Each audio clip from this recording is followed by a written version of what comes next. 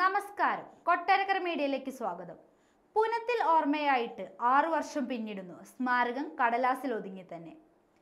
മലയാളത്തിന്റെ പ്രിയ കഥാകാരൻ പുനത്തിൽ കുഞ്ഞബ്ദുള്ള ഓർമ്മയായിട്ട് ഇന്നേക്ക് ആറു വർഷം തികയുമ്പോഴും സാംസ്കാരിക വകുപ്പ് പ്രഖ്യാപിച്ച സ്മാരകം കടലാസിൽ ഉറങ്ങുന്നു. സ്മാരകത്തിനായി പുനത്തിൽ സ്മാരക ട്രസ്റ്റ് വടകര പക്കയിൽ രണ്ട് ഏക്കർ സ്ഥലം വാങ്ങാൻ ഇരുപത്തിയഞ്ച് ലക്ഷം രൂപ മുൻകൂറായി നൽകിയിരുന്നു.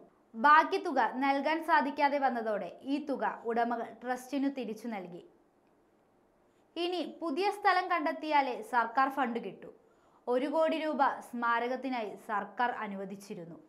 രണ്ടായിരത്തി പതിനേഴ് ഒക്ടോബർ ഇരുപത്തിയേഴിനാണ് പുന്നത്തിൽ കുഞ്ഞബ്ദുള്ള മരിച്ചത്.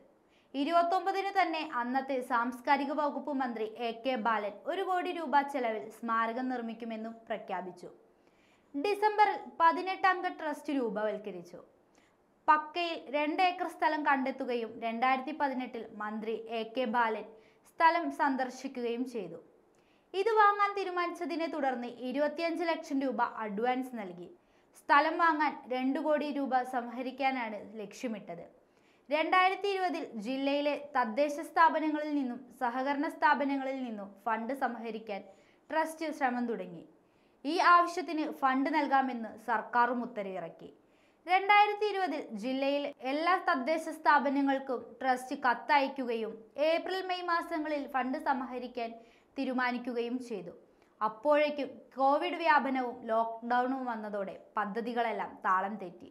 രണ്ടു വർഷത്തോളം അങ്ങനെ നഷ്ടമായി. പറഞ്ഞ സമയത്ത് മുഴുവൻ തുകയും കൊടുക്കാൻ കഴിയാതെ വന്നതോടെ സ്ഥല ഉടമകൾ ഇടപാടിൽ നിന്ന് പിന്മാറി.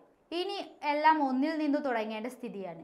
രാജ്യമറിഞ്ഞ കഥാകാരനെ ജന്മനാട്ടിൽ സ്മാരകമുയരാത്തത് ആറാം ചരമവാർഷികത്തിൽ വീണ്ടും ചർച്ചയായിട്ടുണ്ട്.